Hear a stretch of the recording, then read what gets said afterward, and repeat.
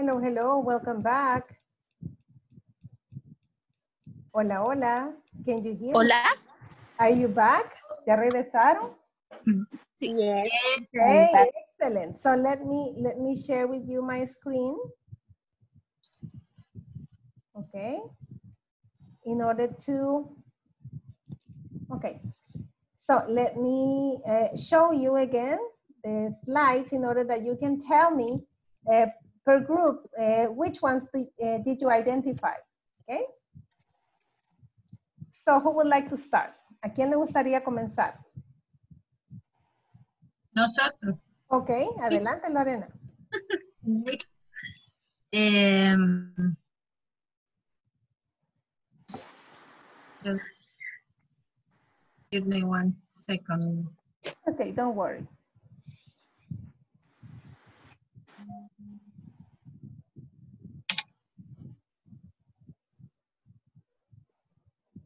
Okay.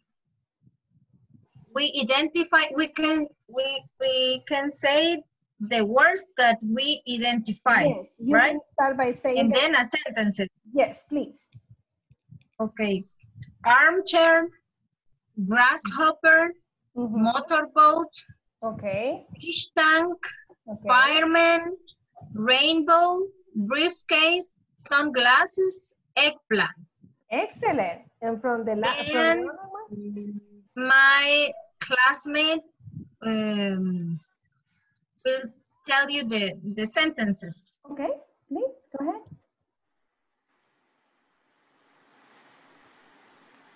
Carlita y Adrián. Carlita and Adrián, Perdón.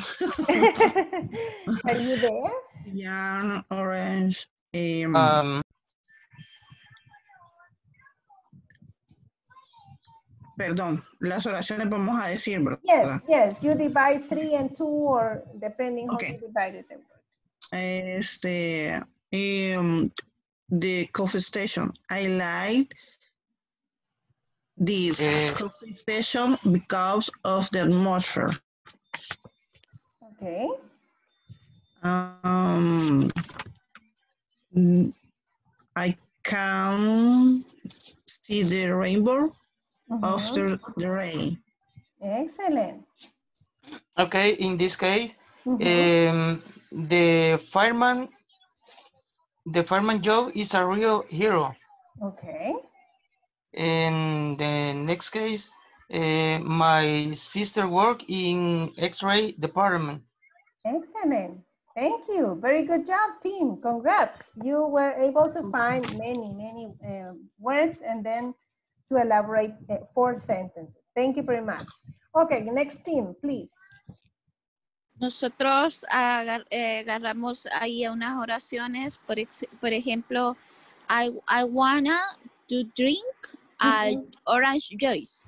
Juice, orange juice. Juice, juice, sorry, Okay. juice. Okay, Eh, luego están otras ahí que tienen mis compañeros. okay, please go ahead. Adelante. Em, I, I am going to go coffee station. To the coffee station. Yes. Mhm. I wear, sorry, Yes, please, go ahead. I wear sunglasses. I In wear sunny- sunglasses. No, no, no. I, I wear sunglasses in sunny day. Okay, in sunny days. And the fire, the fireman is in the fire station. Okay. Okay, were you able to find some extra words? ¿Pudieron encontrar algunas palabras adicionales a las que han utilizado en las oraciones? Eh, Yes. Okay, can you mention some of them, please? Uh, for example, uh, uh, rainbow, um, fireman, armchair, Chair. uh, mhm. in the next um Okay, from big the next. X-rays, Mhm. and orange juice, Mhm, and traffic light, mhm. and in the other Okay. boards. Excellent. Thank you very much, my dears. You did a- an effort of finding extra words and also uh, elaborating sentences. Thank you very much uh, for your effort. Um, also, great, great job. Okay, let me continue showing the presentation where I can share with you more nouns. So um, in here, I have apple tree, bathroom, birds of prey, right? It's a three words, look bus stop, catfish, court, eh, courthouse, database, daughter-in-law, es como mi, mi, mi nuera, ¿verdad? Daughter-in-law, ¿verdad? Three, en hyphen. Downstairs, eggplant, able, father, father-in-law, mi suegro, father-in-law, fire drill, housekeeper, ladybug, lawn mover, eh, mother-in-law, okay? Necktie, seafood, skydiving, son-in-law, textbook, thunderstorm, toothbrush, training room, upstairs, okay? So those are compound nouns formed by two or three words, some of them uh, separated uh, by uh, hyphens, or some of them separated by a space, or some of them just join words. Okay, something important that maybe you can ask about the plural forms of compound nouns. In general, we make the plural of a compound noun by adding s to the base word, the most significant word. Look at this example. A tennis shoe. So when you're going to talk about more than one pair of tennis shoes, you say three tennis shoes, right? In this case, shoes is the most important word. Lo que nos dice es que en general conformamos el plural de un nombre compuesto utilizando la letra S en la palabra base o la que es más importante. ¿verdad? En este caso estamos hablando de shoes, zapatos. ¿De qué tipo? Tennis. Ok, entonces shoes. Shoe is the word that we add the letter S to make the plural. One assistant headmaster. In here, five assistant headmasters, right? This, this is the most important word here. The sergeant major, some sergeants major. In, in this case, the most important word uh, is sergeants. A mother-in-law, two mothers-in-law. In this case, the most important word is mothers. An assistant secretary of state, three assistant secretaries of states. So the most important word is secretaries here. My, to- my toothbrush, okay, my toothbrush. So our toothbrushes, because toothbrush is the most important word here. A woman doctor, four women doctors. Look, in this case, we converted in order to have consonants. En este caso, voy a decirlo en español, para que haya eh, coherencia, ¿verdad? En la oración tuvimos que también cambiar el plural, ¿verdad? Este es un plural especial. Woman, only one. Women, more than one. Women is the plural word. word. So, doctors. But in this case, both are important. A doctor of philanthropy. Two doctors of philanthropy. In this case, the most important word is doctor. A passerby, a passerby. Okay, este es un transeúnte, ¿verdad? Alguien que iba pasando. Two passers-by. En este caso, ¿verdad? Lo que hacemos es el número, ¿verdad? Two. Two passers-by. And the word is not um, modified with any letter S. Okay, again, this is an extra feedback about what I already explained. Uh, the verb plus the preposition, for example, take out. Example of sentence, we can take, we can have take out for dinner. Noun plus prepositional phrase, passerby. A passerby stopped to help us carry the boxes. Preposition plus noun, bystander. A bystander ended up being the main witness. Noun plus adjectives. For example, Snow White. Her dress was Snow White. Okay, la Blancanieves, ¿verdad?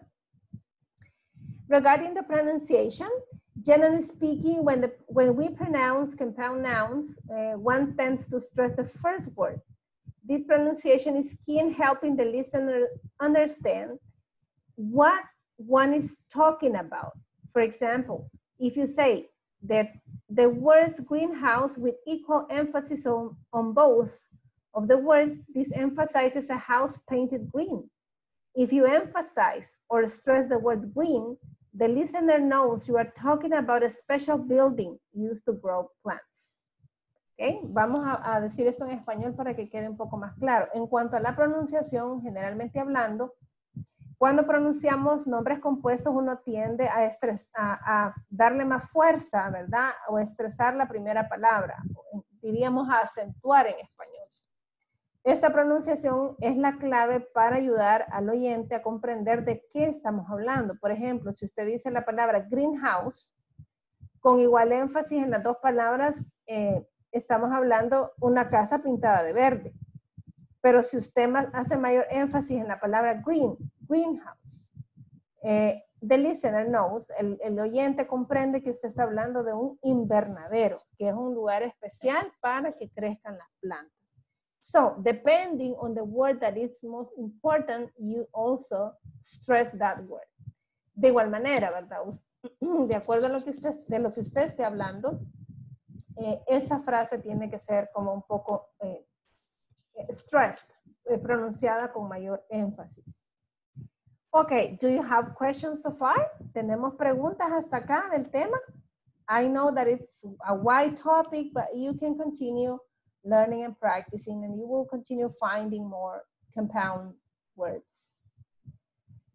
Ok, podemos seguir profundizando después, ¿verdad? Eh, porque ese tema es bastante amplio, pero digamos que con esto tenemos las bases. Ok, so I'm going to start sharing my next presentation. Okay. Uh, let me just introduce this topic. Solo vamos a introducir este tema porque eh, pues ya el tiempo no nos va a dar quizás para hacer todas las prácticas. Vamos a ver. The next, next topic is asking and giving directions. Asking, preguntando o pidiendo, and giving, dando, proveyendo, ¿verdad? Directions, direcciones. En este caso, physical um, addresses or directions to get to a place. Okay? So when we are new in a place that we don't know, we normally use these expressions. Remember that in here we are mm-hmm. gonna use uh, some prepositions of place that we already studied in our previous topic.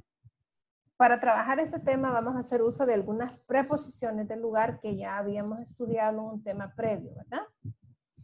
So, Eh, the questions, for example, is how do I get to the library? Do I get? ¿Cómo llego? En este caso, el verbo get. Let me explain that this, is a very wide verb that you can combine uh, in different, with different words and in different contexts and can have different meanings. Eh, comencemos por decir que el verbo get es un verbo bastante versátil que combinado eh, con diferentes frases y en diferentes contextos puede significar varias cosas. Pero en este caso, eh, cuando lo usamos para pedir direcciones, eh, how do I get to? I get to es cómo llego a, ¿verdad? Llegar a un lugar que yo no conozco. How do I get to the library? So basically, I'm asking you guidance. Básicamente le estoy pidiendo que me guíe cómo llegar al lugar, that you can explain, that you can give me directions. So you can say go upstairs and then you will find the library on the second floor. Okay? Suba las gradas y va a encontrar la librería en el siguiente nivel, en el segundo nivel. Okay, where is the nearest post office? Okay, where is the nearest post office? It's on the corner. Can you tell the way to the big hotel? Go straight ahead and then cross and cross to the right and then continue walking until you pass the supermarket and then you will find the big hotel. Are we on the right road for San Miguel? Eso es como confirming, right? Estamos en el camino correcto for a different, for a different city, a place or city, por un lugar específico, ¿verdad? Can you show me on the map, please? I'm looking for this address. How do I find? Excuse me, how can I go to? Do you have a map? Are you from around here? Where is? Which is the best way to? Pardon me. Este pardon me es similar to excuse me, ¿verdad? Este pardon se utiliza más en el British English que en el American English. Pardon me, I'm lost. How do I get to the hospital? Okay. Could you direct me to the bank? May I ask for some help? I need to get to mm, the supermarket or to the nearest uh, pharmacy or to the nearest, I don't know, any place. Is it far? ¿Está lejos? Okay, some of the directions that we can provide can say go up, it's on the corner, go straight ahead, siga recto, ¿verdad? Go straight ahead, cross, go along, turn left, into street, turn right, go down. It's on the middle of the block. You will pass a supermarket on your left. Take this road, turn right, and and, and turn right at the crossroads. Crossroads, cruce de camino, ¿verdad? It's on your left or it's on your right. Take the first road on your right, take the second road on your left or on the left. It's about 100 meters from here. Okay. So what about this, the, the signs? Uh, turn left, turn right, go straight ahead, go past. O sea, pase por, ¿verdad? Cross, crúcese, go straight ahead, continúe recto, turn right, eh, cruce a la eh, derecha, turn left, cruce a la izquierda. At the corner of, en la esquina de, next to, a la par de, ¿verdad? Opposite, prepositions of place. And between, right? En medio de, ¿verdad? Okay. Now is your turn to practice, right? Uh, we have here a map. We have a high school, we have a library, we have a barber shop, we have a sports center, we have a bar, a coffee, we have a drugstore, we have the bank, we have a shopping center, the First Avenue, right? Uh, so we can say that the grocery store, if I ask you, where is the grocery store? ¿Alguien me puede ubicar? Where is the grocery store? It is at First Avenue. Uh-huh. Thank you. And you can add it is on First Avenue On, eh, or on the corner or First Avenue On and Pine Street, right? On the corner, porque Sí. está justo en la esquina, ¿verdad? On the corner or First Avenue and Pine Street. it is in front of shopping center. Yes, it's in front of the shopping center, right? Very Or- good. Or across the high school, right? Across, al cruzar, ¿verdad? Across the high school, right? Okay, now let me ask you, eh, where do I find the hospital? It's on the it's on the Pine Street between the library and the barber shop. Excellent, excellent. Between the library and the barber shop on Pine Street. Excellent, very good. So now let me ask you, where is the drugstore? How can I get to the drugstore?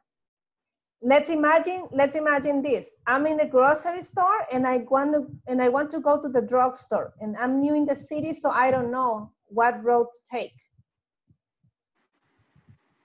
Go up in Pine Street Mhm.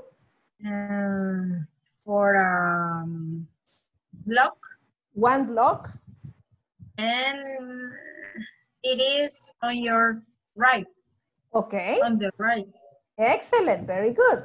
Or you can say, eh, cross First Avenue and go straight past the shopping center and the drugstore is next to the shopping center, okay?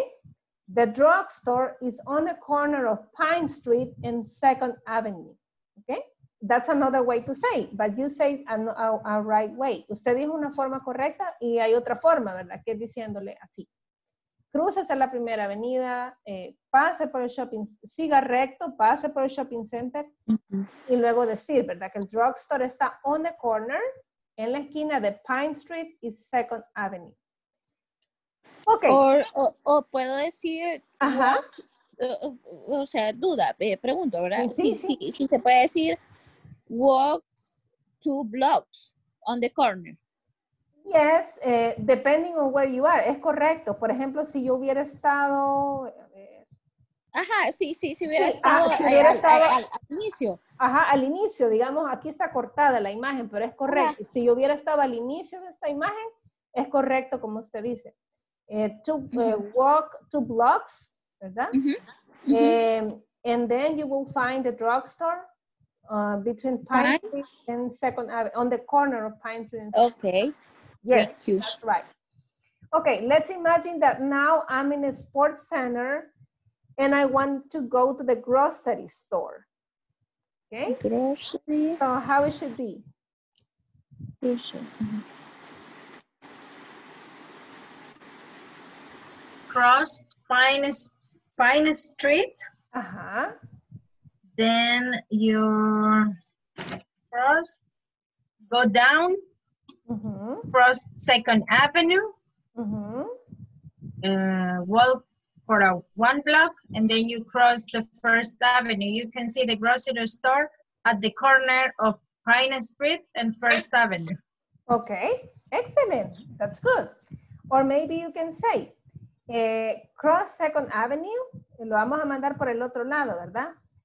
Eh, walk one block, eh, you, will, you will pass the barber shop, the hospital, and the library, then cross the First Avenue. Uh-huh. And on the corner, uh, on the high school of the corner, cross Pine Street and the grocery store in- is in front of the high school. It's across, excuse me, across high school. Esa es como la otra forma, ¿verdad? Del otro lado, ¿sí? What the meaning cross o across? Eh, across es al cruzar. O cruce. ah, ok, al, al cruce o al cruzar, Al across. cruce o al cruzar, across. Ujú. Ok. Excellent, thank you. Okay, now, another expressions. Eh, when you ask for directions, you can say, excuse me, do you know? Or can you, could you tell me? La forma más formal es could you tell me, ¿verdad? Cuando usted no conoce a alguien, utiliza could. Recuerde que en could la L no suena. Could you tell me the way to the hospital, please? How can I get to the bank, please? Where eh, the supermarket is, okay? Eh, important, ¿verdad? Lo que les digo, can plus could plus the verb, verb phrase, how can I get to? ¿Por qué se llama verb phrase? Porque I get to, get to, ¿verdad? Lleva dos, dos palabras, get to. Do you know where the shopping center is? Okay. When you're not from the place, you can say, I'm sorry, I have no idea. Este I've es I have no idea. O sea, no tengo idea, ¿verdad? Disculpen, no, no sé, no tengo idea. Or I'm afraid I don't know. Me temo que no lo sé.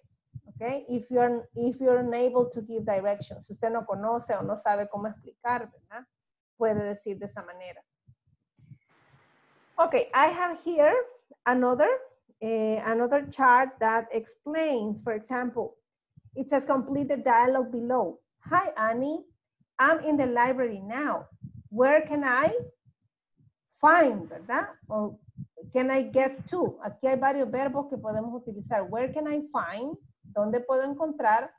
Or where can I eh, eh, eh, en este caso no decimos where can I, sino que decimos how can I get to, ¿verdad? En lugar de where can I, di- digo how can I get to the police station. Y Annie says it's, ¿cómo diría Annie? It's, ¿dónde está la police station here? Is near of the bank or next to the bank or between the bank and store. On Main Street, right? On Main Street. Excellent, very good.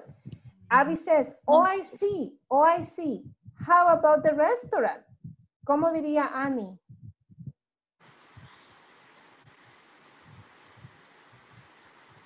It's, It is next to our school okay. on Central Avenue. Okay, okay, excellent. And Abby says, the one that is in,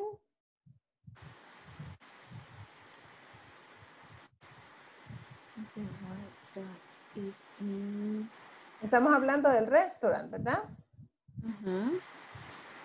That is, that- that is, en este caso sería that is on the corner. Ahí hay una in, pero está malo porque es on, perdón. Is on, sería is on the corner of Second Street and Central Avenue, right? ¿Sí? Ese in está malo, es un on, on the corner, en la esquina, ¿verdad? Of Second Street and Central Avenue Street. Ahí me disculpo por el error de dedo. Yes, that one. Sí, ese, ¿verdad? Okay, thank you. I'll see you on the train station. ¿Dónde está el train station? In front of our school. At five o'clock. Excellent. In front. It's in front, ¿verdad? In front también aplica, ¿verdad? In front of our school at five o'clock. O puede decir crossing or five Across. or, or across, perdón. Or school at five o'clock. Excellent. Thank you. So let me advance just a, advance just a little bit. Okay, this is these are the conversations. So I'm going to stop here because of the time it's over, but tomorrow we are going to continue, okay? And I would like to ask you if you have doubts about this. Tenemos dudas acerca, yo sé que es un tema bastante amplio también. No nos vamos a aprender de la noche a la mañana todas las expresiones, but you have them there, ahí las tienen. If you want to take a picture, si les quieren tomar una imagen. And remember that uh, for this case, you use a lot of prepositions regarding to the place you are located and the place you want to find, okay? El arte de dar direcciones consiste en utilizar adecuadamente las preposiciones, como ya vimos, y ubicar dónde está la persona que se quiere mover y dónde está el lugar que quiere encontrar. Esos son como lo- los dos puntos principales para, para saber es where is the person who wants to find the place and where is the place the person is looking for. Okay? And then you try to provide the best um, guidance, recommendation, or way to arrive to the place.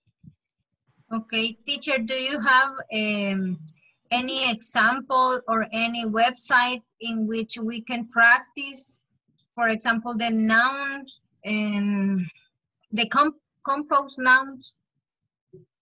Uh, okay, uh, first of all, I want to recommend you the platform, okay? That's the best uh, or the most important tool we have. But um, if you want to go deeper, you can look it up on, on the Google uh, Finder. That why I'm telling you this, because in that way you will find different places. There are some places where you can find, for example, more vocabulary or other places where you can find more listening exercises or other places that you can that you can find more grammar. So that's why it's a little bit difficult for me to recommend you one because it will Okay. depend on your needs. Uh, what you should do is for example if you want to know more about uh, for example adjectives you look for the word adjective plus the competency that you want to strengthen for example, uh, adjective exercises of lis- uh, listening adjective exercises. If your purpose is to improve your listening, you have to write in your search the word listen, listening, okay? But if you say, no, my listening is okay, what I need is like grammar, okay? So you write grammar uh, in use for adjectives, for example, and you will find a lot of places where you can go. And, uh, but if you want to uh, perform better in grammar. So it depends. Remember that for learning English, you have four, you need to improve four skills. Listening, speaking, writing, and In reading. grammar. Ah. Uh, yeah, grammar is included in, in writing and, and reading, okay? If you want to have a good grammar, you need to read a lot of books and materials in English. Because in that way you will find the best way to conform structures and also um, you will get more vocabulary, okay? Uh, so grammar is implicit for writing and um, reading. Okay. But uh, if you want to, to, to uh, improve your listening, that is with music, videos, or um, sometimes uh, podcast, okay? So it will depend on your need, okay? But Okay. keep in mind the, the competence you want to, uh, to improve, okay? Todo depende de la competencia que usted quiera mejorar, ¿verdad? Okay. Okay, uh, if you don't have more questions by now, I'm going to stop here. Yes, I. I, I- I have a question, teacher. Adelante. Adrián. we need, we need to finish the, section, the section three on Friday or, or how we can do? Uh, you have the weekend, but no more than the weekend. By Monday, by next Monday, all of us need to be ready to start the section number four, okay?